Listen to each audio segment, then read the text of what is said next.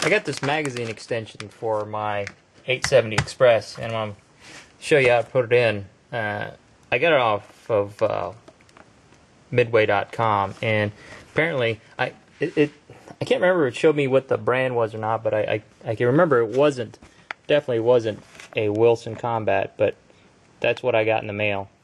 So if you want to order one, that's the that's the phone number, and uh, I don't know what the order number is on, but I got it off of Midway. It was about 45 bucks. show you what it what it looks like. Of course, you've got the got the return spring. Ugh, do that later. But uh, here's what it looks like. It's uh, it's parkerized. It's it's not exactly the same parkerization as my 870, but it's close enough. And it's a, a two two round extension. Um, says Scattergun Technologies Inc. Berryville, Arkansas. Uh, I'll try to take a close up picture. This is uh, made in USA, so if you're going to buy one, I highly recommend buying one of these. Of course, I haven't tried it out yet, but um, you'll find out by the end of the video. now, first things first, you got to take the original cap off, and then with the newer 870s, from what I was told, uh, it's not on the older 870s, but inside the magazine well, there's uh, there's two little two little nubs. Now you can you can see my socket doesn't go in all the way. so what I'm gonna do is I'm gonna use this socket to knock out. There's there's two dimples, and I'll I'll take I'll take a picture of that. So let me stop the video and take a picture of that, and then we'll continue on.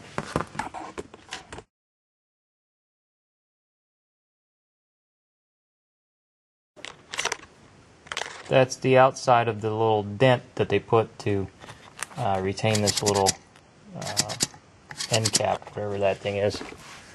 And then here's the here's one on top up there. So that's what I'm trying to do. I'm trying to tap those back out. If that doesn't work, then it's Mr. Dremel. And then if I can't get it out with the Dremel, then uh, I'll have to drill those things out.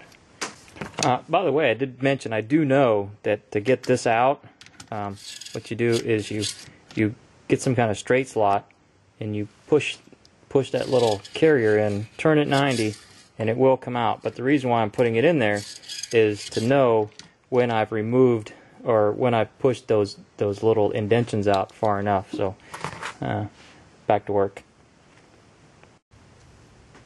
Well, I try to be nice and gentle with it with the uh, hammer and socket, but that's not going to work. So here comes Mr. Rotary Tool. Now, this is a, a great neck rotary tool I got from uh, my local auto parts store for I think it was like 20 bucks. I couldn't believe it. And chances are it probably came from China. I can't find any markings on it that said China, but China. But here's a $50 Dremel that I bought from a Lowe's, and it is come on, stupid camera, made in Mexico. Can you see that? In Mexico City. So I don't even know if you can buy anything, any Dremel or rotary tool made in the U.S., but whatever. Uh, all right, I'm gonna hook this bad boy up and go to town. If you don't already know, the reason why you have to remove or or reduce the the blockage from those things is your your standard shell will not go through the tube. So with your magazine extension, you're still stuck at whatever your capacity is before the magazine extension because the uh, the diameter of the uh, shell casing is bigger than those two little notches. Now, uh, I'm thinking they put those there mainly for the the uh, follower, um, but uh, to me, it's just a big pain in the butt. I don't know why they would do that. They didn't have them on the old models. Why they chose to do that, I don't know if it has to do with legal reasons or what, but it's uh, just a big pain in the butt to me. So I'm keep working on it. All right, I got it down to where I can get the shell casing, but you can see in there. Let me see if you can see the light. See where I ground down on it? That little square pad there. Um, there's one like it on the other side. There. But, um, see now I can get the shell casing to pass through there, but the problem is you can, it's still, it's still kind of, kind of sticky, so I got to take it down some more.